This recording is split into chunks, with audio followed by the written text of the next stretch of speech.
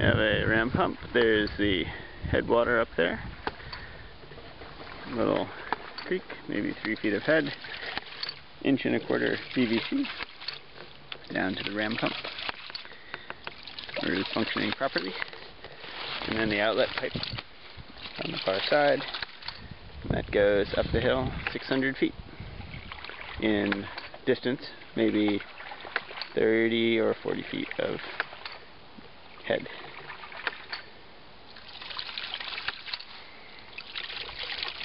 Sticks are for stabilizing the large compression chamber, which eventually falls over if it is not braced.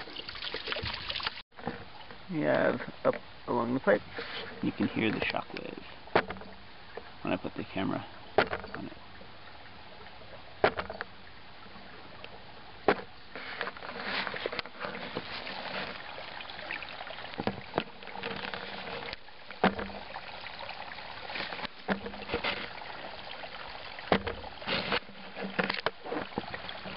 And which is cool.